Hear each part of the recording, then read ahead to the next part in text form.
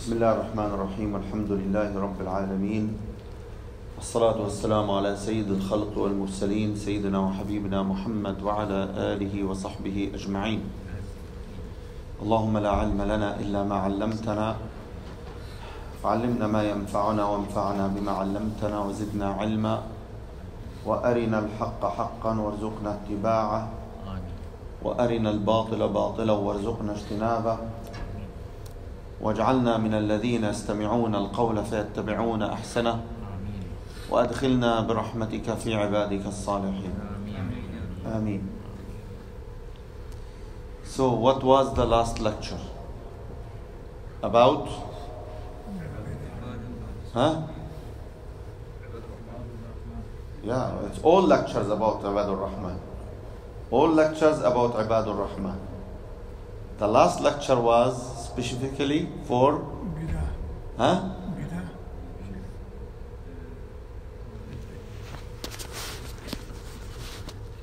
What? Our memory becomes like fish. Minor sins. Huh? Minor sins. Ah, we talk about shirk. Shirk. This is the major sin, the major problem. So, I will refresh your mind.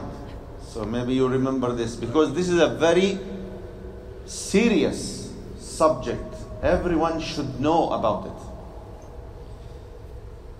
So the shirk means Associate Shirk billah, Allah la yakfir. uh, it means what? Associate partners, Huh? associate partners.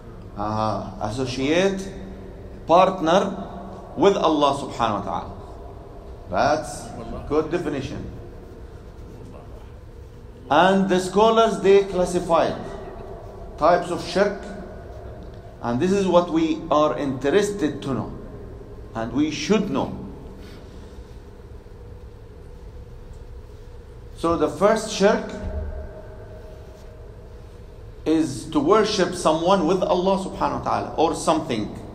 Like the kuffar in the time of the Prophet wasallam or before, or even now, they still exist. People worship idols, right? Pictures or animals, right? Yeah. So this is the major shirk, and this is the very obvious shirk, correct?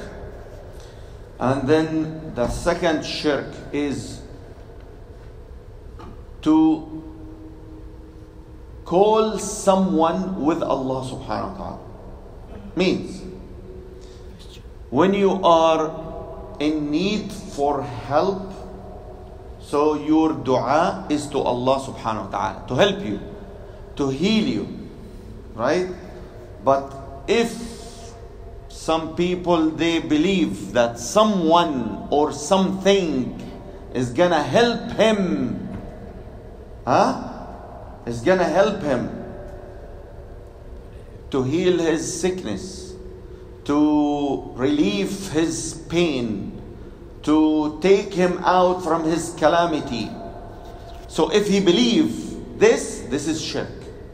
So this is to believe that someone or something can help him along with Allah, or maybe he believe this is better than Allah. So this is another shirk. And then we have the the shirk in intention, in your niyyah. So your niyyah, when you do something, when you perform something, when you do good deed, when you worship, when you pray, when you go to Hajj, so your niyyah is not pure for the sake of Allah. You have some mix. So to show in front of somebody. You come to the to the masjid not to learn your deen, but to show the people that you are coming to masjid. You attend this lecture to show the other colleagues, oh, I am coming here to see. So to show yourself, this is also shirk. And then the shirk in love means to love someone or something equal to Allah, to the love of Allah, or even more. To love someone or something equally with the love of Allah or more. This is shirk. And then to obey someone, to obey someone in something which Allah denied. Now, your obedience not for Allah, your obedience for this person or for this group. And I give an example about Adi ibn Hatim radiyallahu anhu when he comes to the Prophet sallallahu alaihi wasallam and he hear him reciting a verse from Surah At-Tawbah. Hmm? اتخذوا أحبارهم ورهبانهم أربابا من دون الله. Then Uday said, Ya Rasulullah, we did not worship them, mean our monks, their monks, their priests. Then the Prophet ﷺ said, Didn't they order you to do something which Allah forbid and you did it? He said, Yes. Then the Prophet ﷺ said, This is your worshipping to them. So this is shirk. And then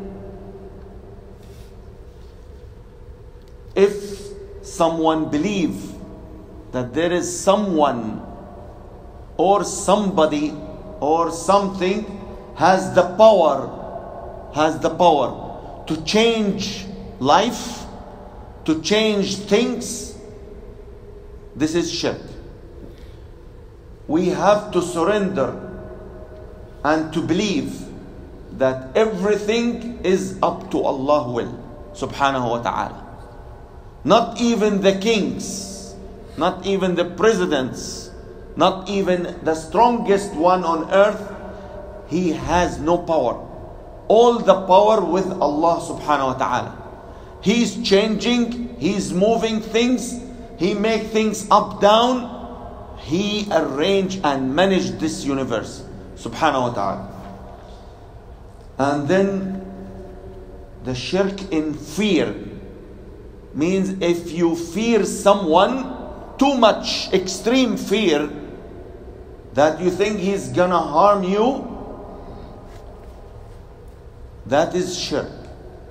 So not, no one can harm you except if Allah wants. We have to understand that everything happen, it is with the permission of Allah subhanahu wa ta'ala. وما تسقط من ورقة إلا يعلمها Every single leaf when it fallen to the ground it is registered Allah subhanahu wa ta'ala write it the time and the place when it will fall and how and where it will go so he is also writing that this is gonna happen at this time, at this place, at this moment. So Allah subhanahu wa ta'ala, He has the manage, He is managing the whole universe, subhanahu wa ta'ala. And then the shirk in tawakkul. Tawakkul means you depend on Allah subhanahu wa ta'ala.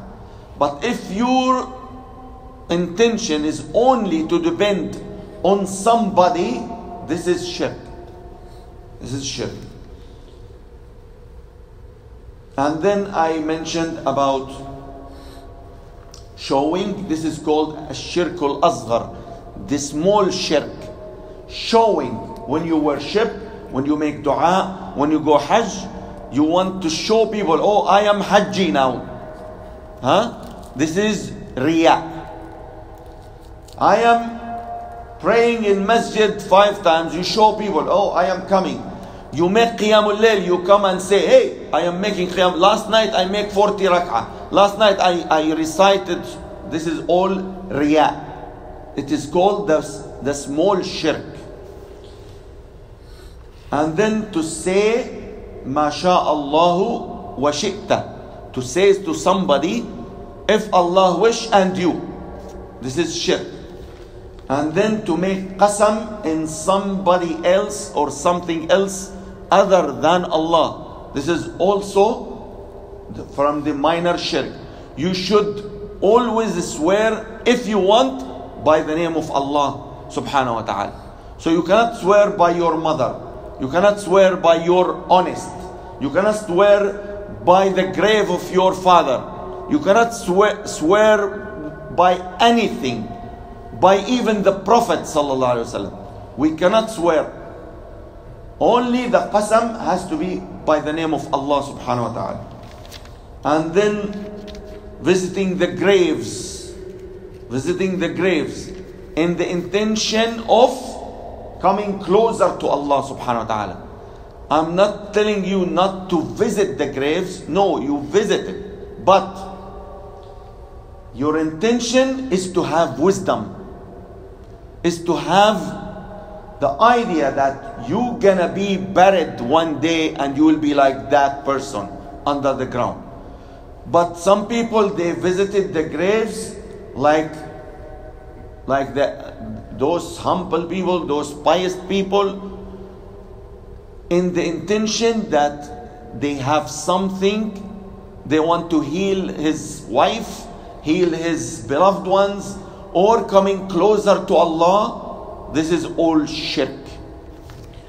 And then to go to those fake sheikh to make some hijab means uh, these charms with the Quran written on it, this is all shirk.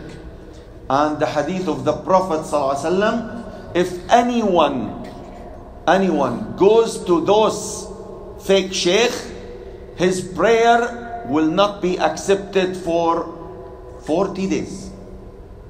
So the Prophet ﷺ, he show how serious this. If you just go to see this person, still until now you didn't hear from him, he didn't do anything for you, he you didn't believe what he's doing, you just went to see him. 40 days your prayer is gone. And if you believe him, believe in him, the Prophet said, if you believe in him, you make shirk. This is shirk. Kufr.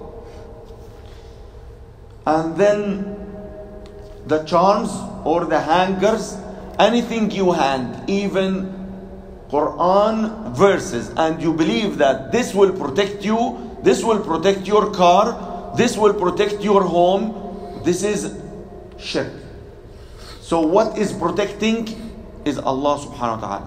Only Allah He is protecting. And when you read the ruqya, Allah is protecting. So the one who is action, who is doing things for us is Allah subhanahu wa ta'ala. Not what you hang, not what you put charms in your on your children or in under the pillow or whatever. All this is considered as part of shirk. Now, the verse Allah subhanahu wa ta'ala, He said in Surah الفرقان والذين لا يدعون مع الله إلها آخر ولا يقتلون النفس التي حرم الله إلا بالحق Now here there is something really very interesting Why Allah subhanahu wa ta'ala He joined these two attributes together in the same verse Allah was able, like, like what He did before, والذين إذا أنفقوا لم يسرفوا ولم يقتروا وكان بين ذلك قواما. So Allah subhanahu wa ta'ala mentioned about Ibadur Rahman, Ibadullah Salihin in the previous verses, every attribute in a separate verse. So they make Qiyamul Layl and they are humble, they are not arrogant, right? and when they spend, they are moderate. So every attribute in a separate verse. But here, he joined the shirk. They are not committing shirk and they are not killing anyone. So the scholars they said because this is two major sins. And these two major sins are not forgivable. Are not forgivable. Means if somebody killed, his sin is not forgiven without reason. Now some some scholars, as Allah mentioned, إلا من تاب إلا من تاب وآمن وعمل صالحا. So for sure the tawbah will give forgiveness. But if there is no tawbah, then there is no forgiveness. So the same like shirk. If somebody died when he is still kafir, he is still mushrik, huh? then there is no forgiveness. إن الله لا يغفر أن يشرك به ويغفر ما دون ذلك لمن يشاء. So if any kafir or mushrik, he repent to Allah subhanahu wa ta'ala and he surrender to Allah and he become Muslim, then Allah forgive. But if he die before this happen, then there is no forgiveness. The same thing with the one who is killing without excuse, without reason. The same thing. The one who is killing by purpose. There is, if he didn't repent to Allah subhanahu wa ta'ala and ask forgiveness, then there is no forgiveness. And the scholars they said that the shirk the shirk is considered that you dare to exceed the limits with Allah subhanahu wa ta'ala. That's why it is not forgiven. And the same thing when you kill somebody, you exceed you exceed the limit with a human being, with all human being. And the killing was there from the first creation of Adam alayhi salam when there was only one single family, Adam and his children. And the killing happens started from Qabil. Qabil.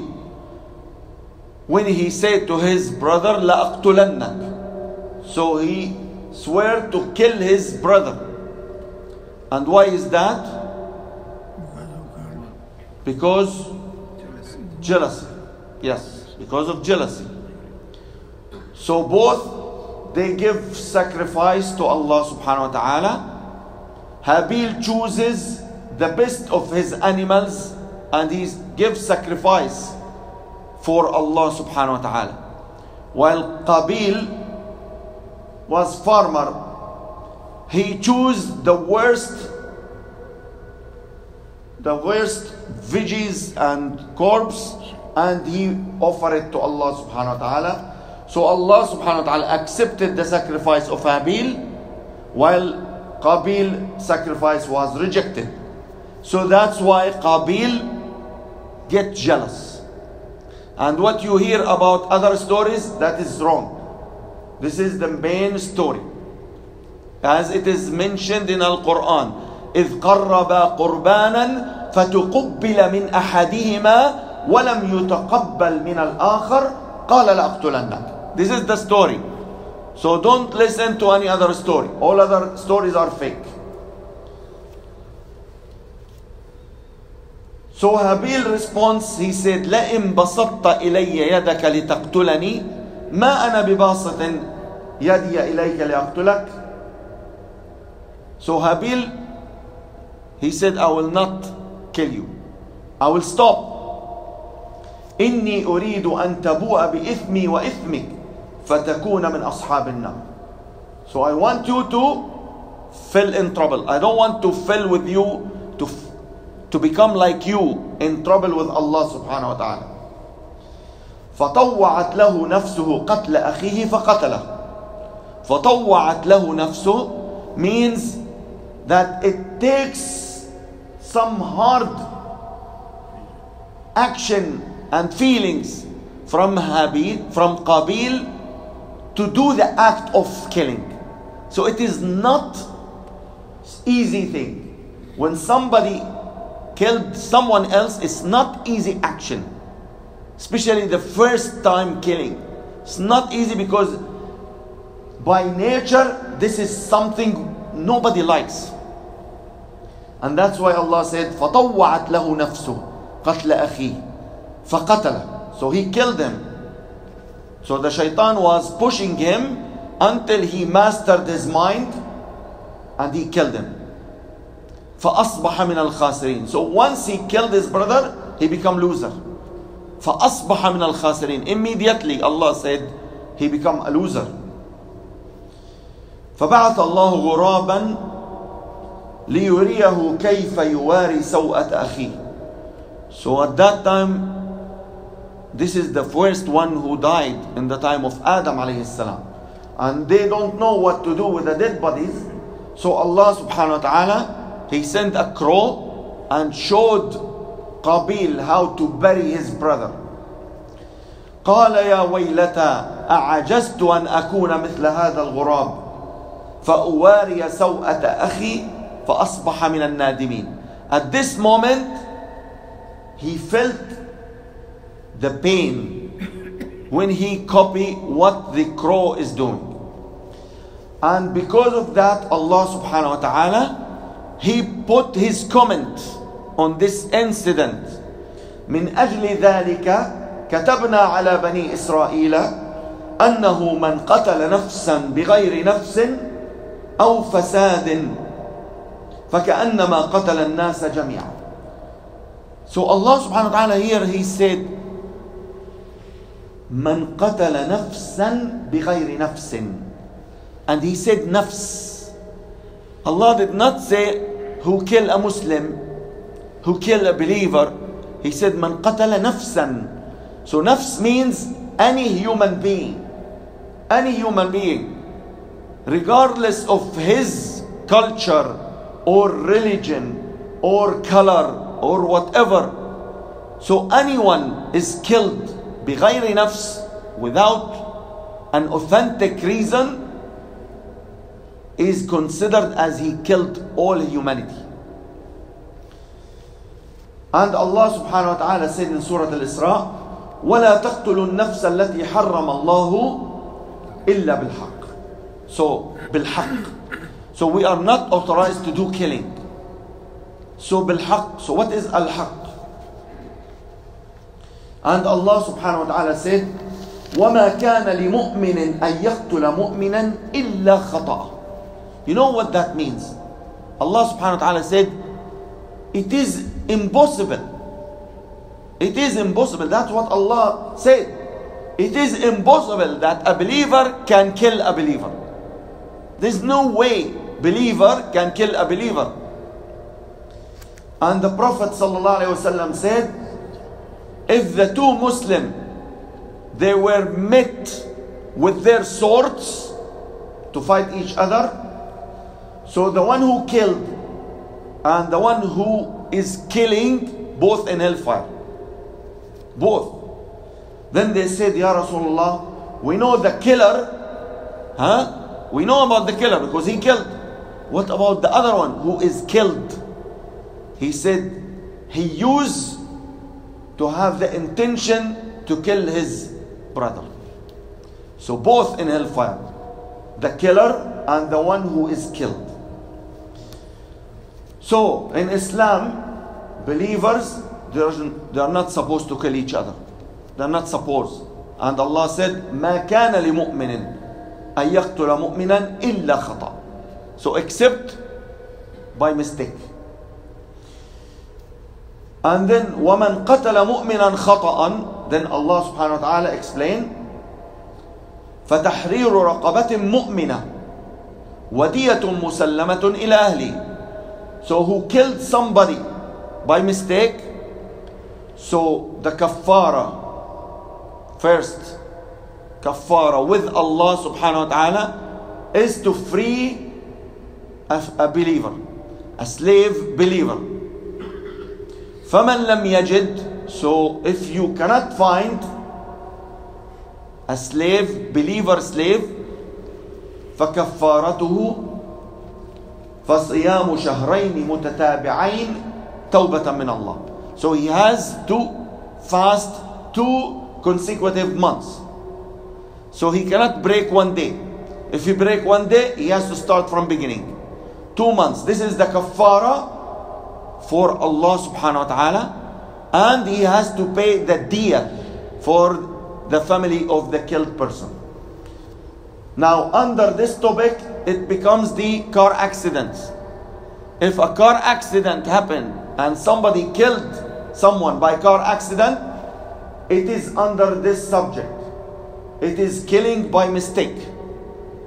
Killing by mistake. So, if the insurance will cover all your cost, but still that person who is the driver, he has to fast two months. This is kafara from Allah subhanahu wa ta'ala. And then Allah subhanahu wa ta'ala said, وَمَنْ يَقْتُلْ مُؤْمِنًا مُتَعَمِّدًا So now, what is the punishment for those who kill the believers huh? by intention? فَجَزَاؤُهُ جَهَنَّمُ So his punishment, he will be in hellfire. خَالِدًا فِيهَا So, خَالِدًا He will never come out from Jahannam. And وَغَضِبَ اللَّهُ عَلَيْهِ And Allah will be angry from him forever. وَلَعَنَهُ And he is cursed by Allah subhanahu wa ta'ala. وَأَعَدَّ لَهُ عَذَابًا عَظِيمًا And he will observe a severe punishment from Allah subhanahu wa ta'ala. So those who are killing innocent people, they put themselves with a trouble with Allah subhanahu wa ta'ala until he make tawbah. And the Prophet sallallahu alayhi wasallam said, لَزَوَالُ الدُّنْيا means all the dunya wash out or vanish is easier easier on Allah subhanahu wa ta'ala than to kill a single Muslim without right. The vanish of the whole dunya is easier on Allah subhanahu wa ta'ala than to kill a Muslim without right. And the Prophet ﷺ one time he went to Al Kaaba and he made tawaf and then he looked to Al Kaaba and he said, What a beautiful smell you have!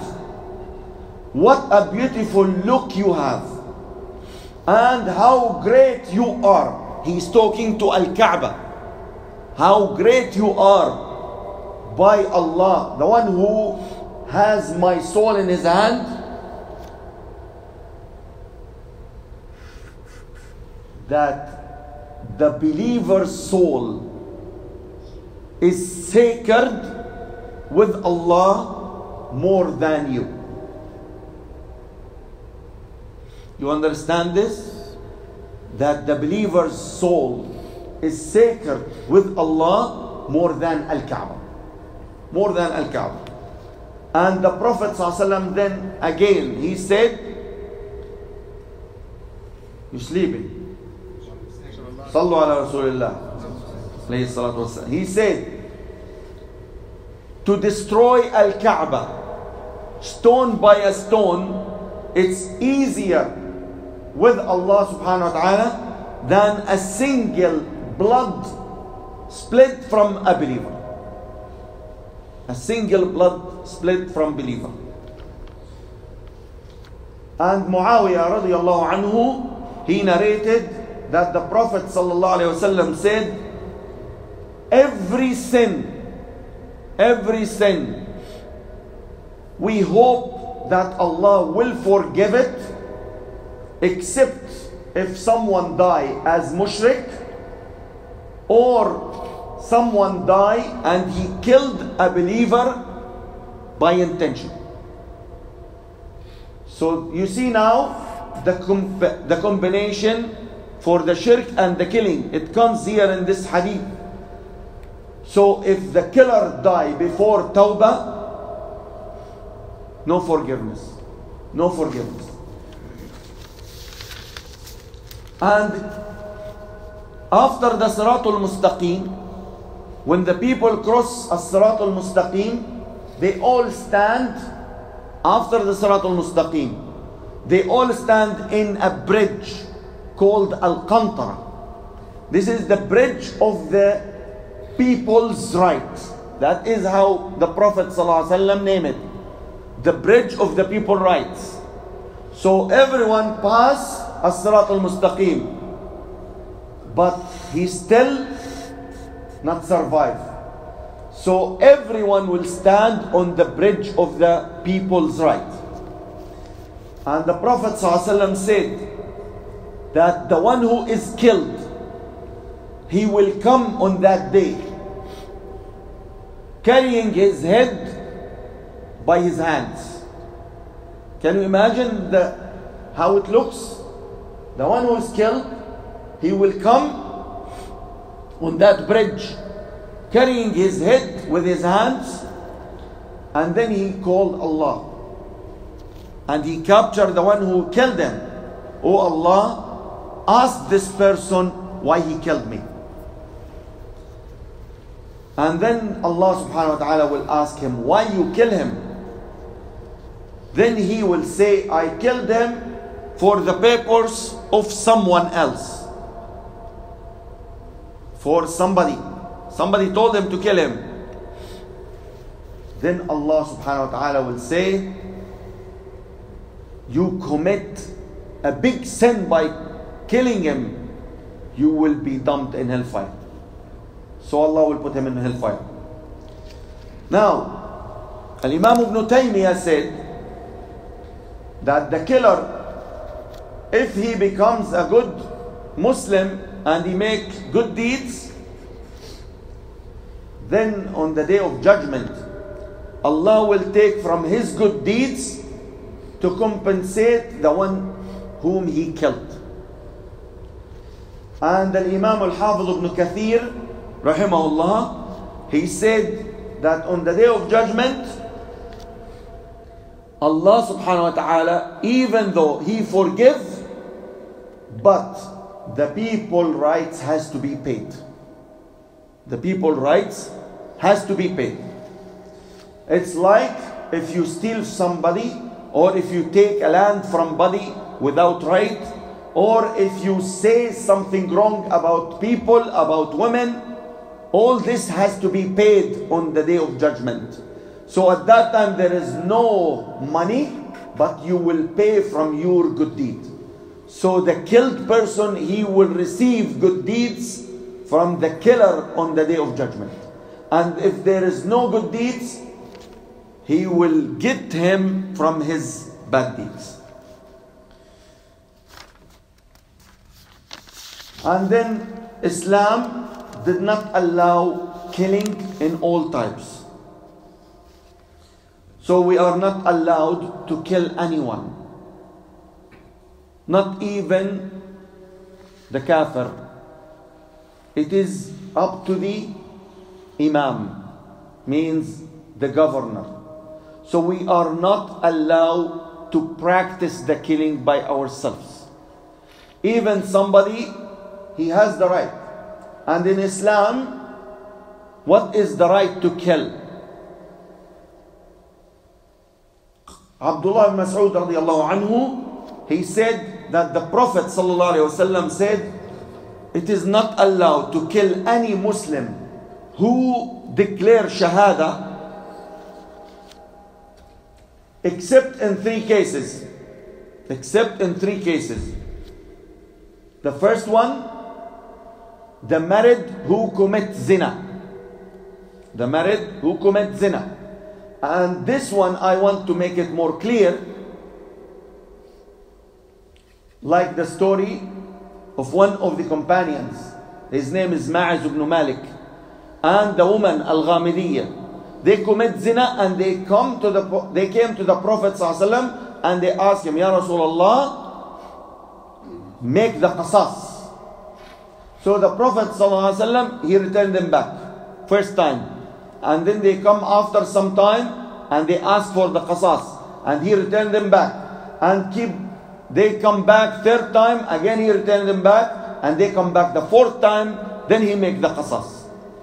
So in this, under this hadith, now the fiqh said that to confess one time is not enough. You have to confess four times in different times, different places. And that person who commits zina, there should be four witnesses. It means that this person have been seen the action of zina, right?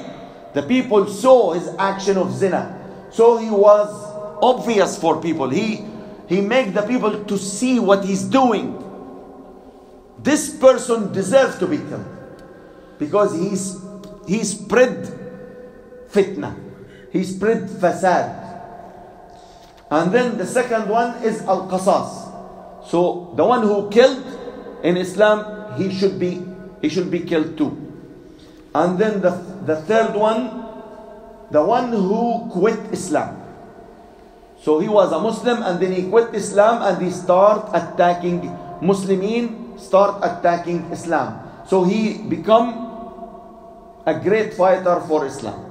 He resist Islam. So in Islam, we're not allowed to do any killing, and the visitors to the to the country they are considered as mu'ahid. In Islam, considered as mu'ahid. He got a permission to come and visit, or to stay, or to do some tours or visiting. So in Islam, he has a contract of peace with Muslimin. And then the woman, the pregnant woman. So any woman get pregnant either by halal or by haram is not allowed to give away her fetus. Except in one condition. If it affects the life of the mother. And there is a condition has to be authentic by two authentic doctors. Not only one. Two. So as you see, human life is protected by Islam. And the, and uh, the, the Prophet ﷺ emphasized on these meanings. In his hadith and in Al-Quran Al-Kareem, nobody allowed to kill anyone in Islam, either Muslim or non-Muslim. We are not allowed to do the qasas by ourselves because we are not authority. This has to be done by the governor or by the authorities. And inshallah, I have little bit more to add. Just to give a five minutes story. The story today is about Zayd ibn Haritha radiallahu anhu. So a question for you. What is special in Zayd ibn Haritha? What Zayd ibn Haritha has something special? He was ambassador for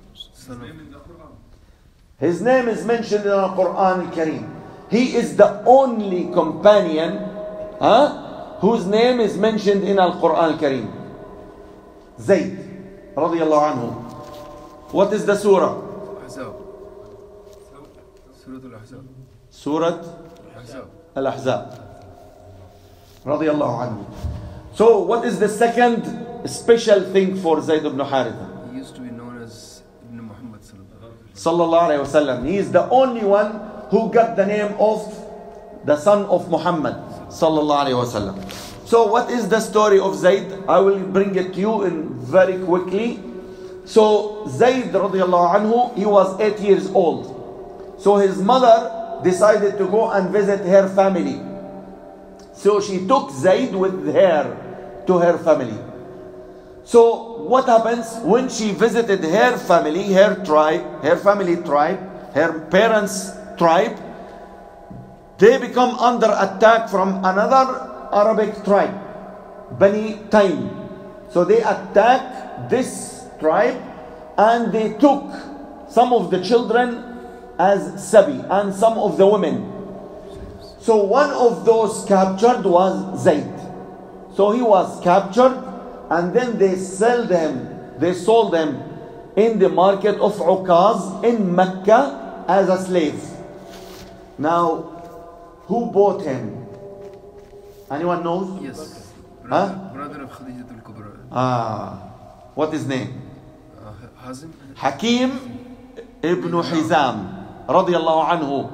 He wasn't Muslim at that time. There, there was no Islam at that time. So Hakim ibn Hizam, he bought it. He paid for him and he took him. So Hakim ibn Hizam, he is Brother of. brother of Khadija anha. So do you know Hakim ibn Hizam? Do you know Hakim ibn Hizam? You know what is special in this man? Hakim ibn Hizam. He is the only companion who was born inside Al Kaaba.